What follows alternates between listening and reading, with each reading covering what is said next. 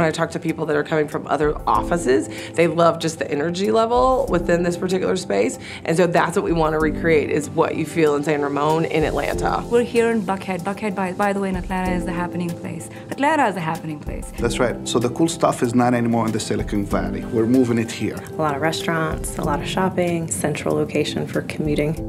When we talk to someone about working at GE Digital, they don't understand that we are we are GE, but we are not 100-year-old GE in look and feel. Instead of having these cubicles where you can't see who's behind them, you have to peek, you come in, it's open space. You can see everybody here. We're on the 18th floor, 19th floor, you can see the whole city.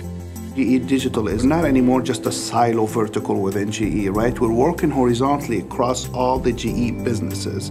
You've just got new people coming in and out that have to collaborate just because, you know, they're working on really tough problems that need different disciplines and different expertise. And so you just get this energy level that it's like every day you want to come here because not being here is kind of boring.